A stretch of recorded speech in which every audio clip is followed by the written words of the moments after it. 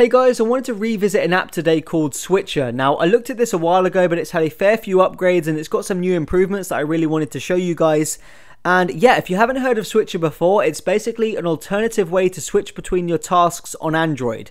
We all know the old method, or the normal method, I should say, of using this and you, you pick your application, it'll switch between it. But Switchr gives you an alternative method, and their newest addition is something called Arc, and you can swipe in from the left here and you basically get this semicircle of your open applications and to switch between them you just highlight one and lift your finger and boom it's going to open it. And you can just see how easy this is and how quick it can actually be as well. Probably a little bit quicker than if you were using the normal method. So this to me is awesome and it's really good especially if you don't have a navigation bar like me and you're using PIE the whole time. This is going to make your life a little bit easier. So yeah let's look at this in a bit more detail so the first time you start Switchr up, this is what you'll see. It's a tutorial on how to get it set up and how to use it. So we'll just go through this. We'll hit next. Switchr is activated by swiping in from the edge of your screen. Hit next again. Keep hitting next here, next, and eventually you're going to have to select a style. And there's three different styles to choose from, flow, slide, and arc. You can change them after you've selected them here. But my favorite is definitely arc. So that's what I'm going to select right now.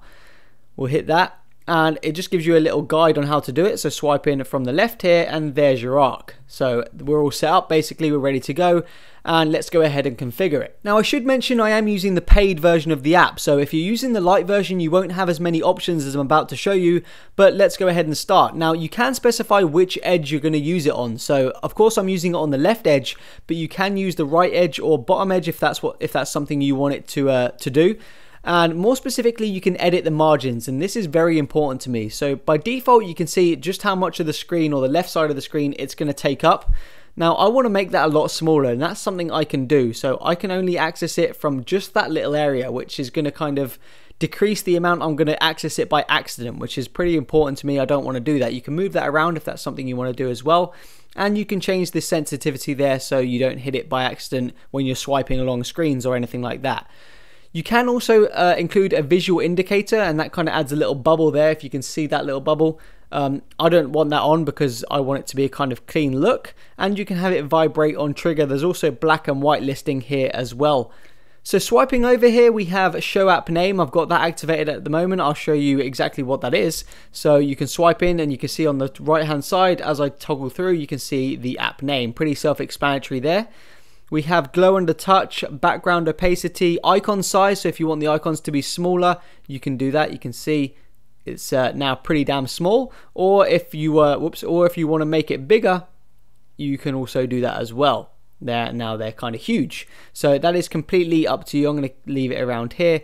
There's also a task limit, but you can set it all the way up to 10 if that's something you want. 10 icons there, that's uh, completely up to you. I'm going to leave it on around 7. Live switching is something that's pretty cool, but I don't really use it. If you turn it on, essentially when you hover over the app, it's going to allow, it's going to automatically switch to it. So you'll see once it kicks in in a second, there we go. It's going to switch between, what's the wrong application? It's going to switch between the applications just as you hover over it. That's not something I want it to do, but it's there if you do want it to do that. So I'm just going to turn that off. Home shortcut, you can have a home shortcut and you can have it set to vibrate on selection. There's also a support section here. Now there are also gestures, but you can see they're not available when recent apps are being used. So you need to swipe over to general, change the switching mode from recent to running. Now when we try this, you'll see that when we pull this out now, we have a kill all button for one. And if you want to kill just one app, you swipe over to it and then over swipe and you can see it's turned red let go and then YouTube will now be shut. You can see YouTube is now not there to be accessed. So those gestures work really well. So let's move over to the different styles. Now, I said Arc was my favorite, but I just wanted to show you guys some of the different styles.